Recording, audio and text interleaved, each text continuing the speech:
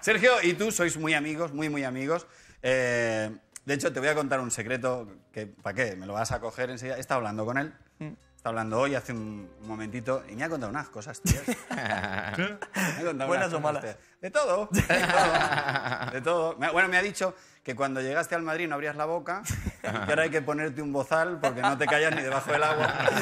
Nada, nada. Pero vamos a descubrir, entre otras cosas, estos gestos que hacéis, porque resulta que vosotros sois superfans de la NBA. Entonces, os inspiráis en, en estos gestos para luego hacerlos y, y- y- celebrarlo. Mi pregunta es, ¿esto dónde lo ensayáis? O sea, ¿esto vais eh, en, en casa de Sergio?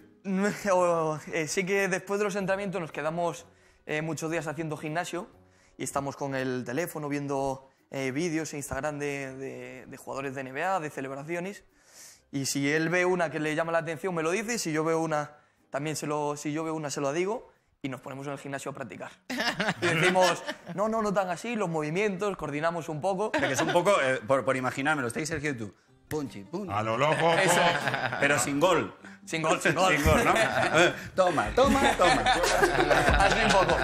¿Y esto lo hacéis cada, en cada gol es diferente o cómo va? Ahora yo creo que tenemos que cambiar ya, porque él, él metió uno, tuvo una buena racha de goles y, y ya hay que reinventarse. Entonces, a ver si para el próximo inventamos uno bueno. Mira, A ver si vamos, a, aprendemos vamos a ver, vamos a ver una de estas celebraciones porque tengo una cosa chula. Esta es una de las celebraciones, ¿vale? Pas, pas, Ya. Y fíjate, porque hay muchos chiquillos que os imitan. Vale, el vídeo no se ve muy bien, pero tiene mucho valor porque la imitación es perfecta. Fijaos, esto pasó genial. Tira, gol y atención. Lo hacen mejor que nosotros, ¿eh? Se lo han ensayado muy bien. Se lo han ensayado